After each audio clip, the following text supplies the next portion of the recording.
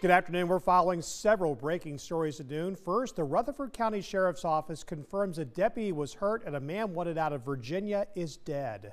Here's what we know. Tyree Wash or Ty Washington II was wanted out of Henrico County, Virginia for a triple shooting Tuesday night. They'd put out an all alert to find him. Rutherford County deputies say they found the car in the southeastern part of the county.